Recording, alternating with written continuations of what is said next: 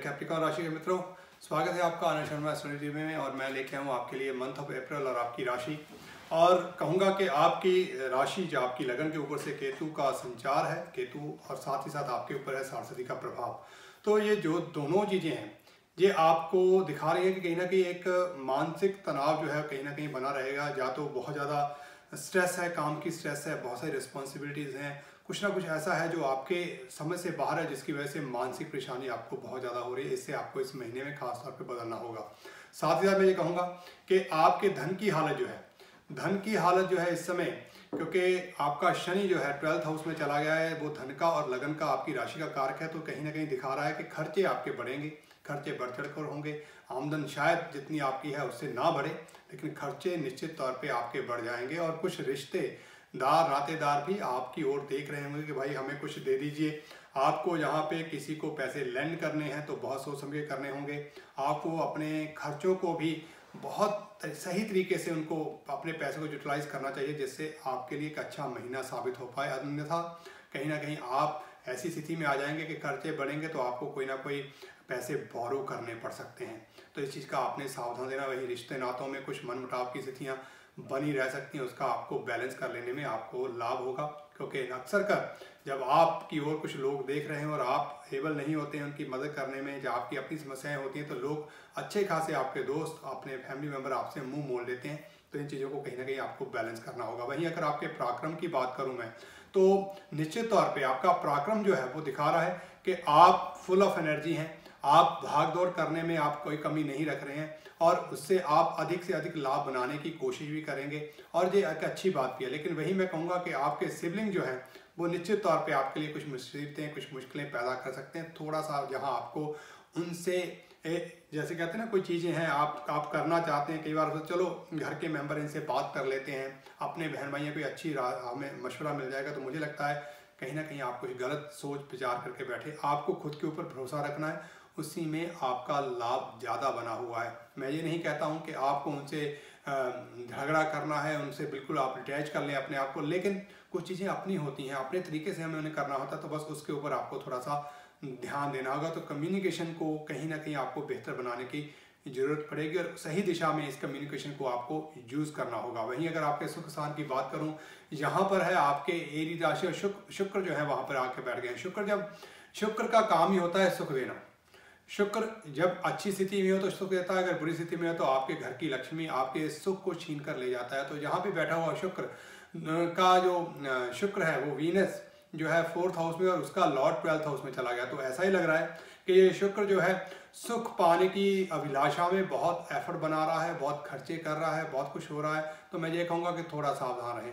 सावधानी पूर्वक और सही तरीके से अपने पैसों का, जैसे मैंने पहले कहा कि उपयोग करें।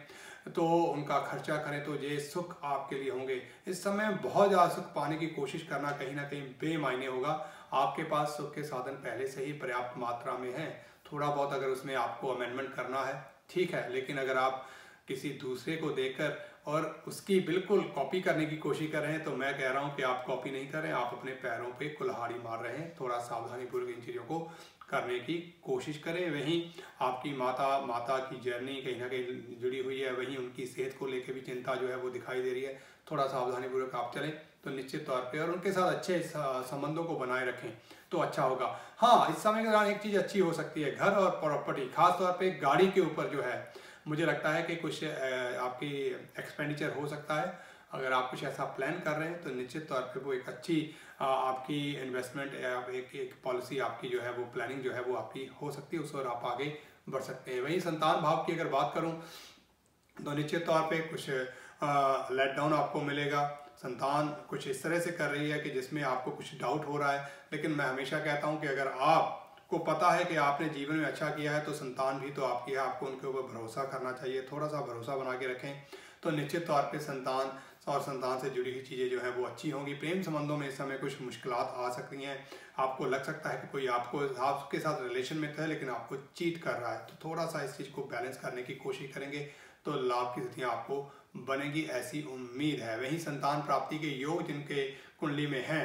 मैं कहूँगा संतान प्राप्ति के योग हैं, साथ ही साथ किसी सी सेक्शन के साथ बच्चे का जन्म हो सकता है। और संतान प्राप्ति में किसी तरह की कोई मेडिकल सहायता लेने की ज़रूरत पड़ सकती है तो उसमें कोई बुराई भी नहीं है। अगर मेडिकल सहायता से भी आप अपने एम में कामयाब हो जाते हैं, आपको आप कंसीव कर लेते हैं तो ये बहुत अच्छी बात है। तो आगे बढ़ें और इसका पूरा लाभ जो है आप लेके चलें। अगर मैं सिक्स हाउस की बात करूँ तो सिक्स हाउस की जो पोजीशन है, निश्चित तौर पे, उसमें मैं ये कहूँगा कि मरकरी निश्चित तौर पे आपको एक अच्छी पोजीशन दिखा रहा है, लेकिन उसका रिज़ल्ट कब मिलेगा, ये अब थोड़ी सी कॉम्प्लिकेशन हो गई क्योंकि रेट्रोगेट और कम्बस्ट मोशन में बैठा हुआ मर्करी इस समय अपने रिज़ल्ट देने में सक्षम नहीं है। आप, जैसे आप सोचते हैं कि मुझे प्रमोशन मिल जाए प्रमोशन की बात चल रही है, लेकिन वो बात कहाँ गुम हो गई? आप सोचते हैं कि नहीं, मुझे ये रिस्पॉन्सिबिलिटी मिल जानी चाहिए। वो कुछ ना कुछ और डिले का कारण बन रही है। तो कंपटीशन होना है, लेकिन वो तारीख चेंज हो गई। आपको जाना था कहीं, तारीख चेंज हो गई।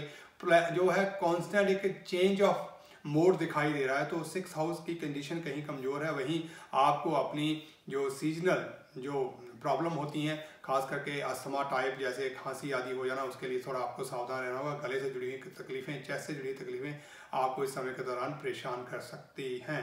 वहीं अगर आपके सेवन्थ हाउस की बात करूँ, जो है आपका मेटल हाउस जो है आपका शादीशुदा गृहस्थ जीवन, वहाँ पे है राहु।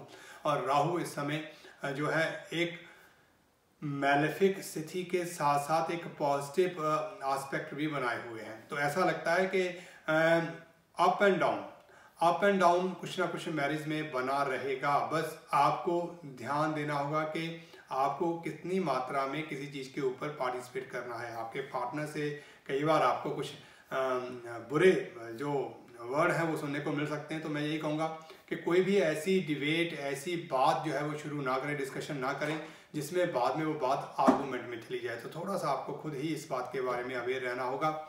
जिस समय रिश्ते में आगे बढ़ने का, नया रिश्ता शुरू करने का एंगेजमेंट करने के लिए बिल्कुल सही नहीं है तो सावधानी पूर्वक चीज़ों को करें।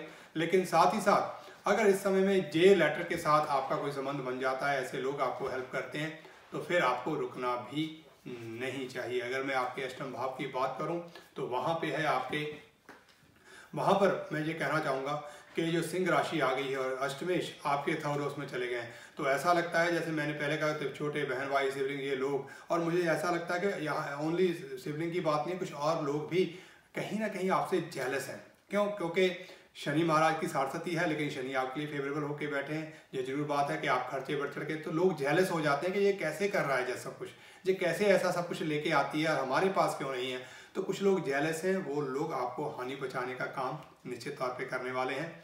आपको सिलेक्शन करनी है, सही दिशा में काम करना है, किसी की बातों में नहीं आना है, किसी की जेलस से आपको घबराना नहीं है, बस आपको अपनी मस्ती में मस्त रहना और आगे चलते बढ़ते जाना है। ये आपके लिए अच्छा होगा। सप्तमेश यानी कि भाग्य स्थान में बैठा हुआ है। जैसे मैंने कहा अप एंड डाउन शादी में रहेंगी, शादीशुदा ज़िंदगी में हो सकती है, लेकिन क्योंकि सप्तमेश भाग्य स्थान में बैठा हुआ है तो आपका पार्टनर आपके भाग्य को निर्धारित करने में इस समय आपका काम दे रहा है। तो पत्नी, साथी लिविंग रिलेशनशिप में है या कैसे भी हैं, उनके माध्यम से आपके जीवन में नया परिवर्तन आ सकता है, नई अप्रोच आ सकती है। तो उसको आपको बनाए रखना है, इस चीज़ का आपने ध्यान देना होगा। भाग्य आपका प्रबल दिखाई दे रहा है अच्छा दिखाई दे रहा है तो कुल मिला एक अच्छी स्थिति कहीं ना कहीं मैं आपकी कुंडली में देख पा रहा हूँ। वहीं अगर मैं बात करूँ, वहीं अगर मैं बात करूँ तो ये मैं कह सकता हूँ कि जस्ट आफ्टर पूर्णिमा, यानी कि फुल मून के अगले दिन ही नए महीने की शुरुआत हो रही है तो यहाँ चंद्रमा एक पूरी लाइट के साथ, यानी कि भाग्य की पूरी लाइट आपको मिली हुई है और अब आपने इसका पूरा उपयोग जो है अपने लिए करना है। अगर मैं आपके प्रोफेशन की बात करूँ तो जुपिटर आपके हाउस ऑफ़ प्रोफेशन में बैठे हुए हैं और सन जो है मरकरी और सन दोनों ही ग्रह जुपिटर के घर में बैठे थे, एक अच्छा कम्युनिकेशन वहाँ पे दिखाई दे रहा है। तो काम काज के हालात आपके ठीक रहने वाले हैं। नई प्रमोशन तरक्की जिसकी आप उम्मीद करें उसमें थोड़ी डिले है। लेकिन जी हाँ आप ही फ़र्स्ट चॉइस रहेंगे, ऐसी साथ में उम्मीद है। तो कुल मिला के आप अगर इंपोर्ट एक्सपोर्ट के बिज़नेस से हैं, आप मीडिया से जुड़े किसी काम में हैं, आप लॉ से जुड़े किसी काम से जुड़े हुए हैं तो निश्चित तौर पे ये जो समय है उसमें आपको सफलता, आपको और क्लाइंट्स देने का एक समय बना हुआ है। तो आपको बिज़नेस में खास तौर पे लाभ होगा। जॉब में आपकी स्थिति बनी रहेगी, उसमें आपके चांसेस जो हैं, वो चाहे पे राइज के हों या प्रमोशन के हो, वो साथ में दिखाई दे रहे हैं। अगर मैं आपके लाभ की बात करूँ तो लाभ स्थान का जो मालिक है, वो मंगल, वो ट्वेल्थ हाउस में, वो दिखा रहा है कि भाई लाभ तो होगा, लेकिन लाभ को आप खर्चों में तब्दील करेंगे। तो जैसे मैंने कहा, गाड़ी खरीद लेना इस समय अच्छी बात है, लेकिन अगर आपका मन प्रॉपर्टी खरीदने को भी कर रहा है तो निश्चित तौर पे भाई कर ले, क्योंकि मंगल का प्रॉपर्टी के साथ बहुत अच्छा संबंध होता है। अगर ऐसी इन्वेस्टमेंट आप कर रहे हैं तो बहुत अच्छी बात है। छोटी छोटी यात्राएँ, लंबी दूरी की यात्राएँ भी इस मंथ के दौरान हो सकती है।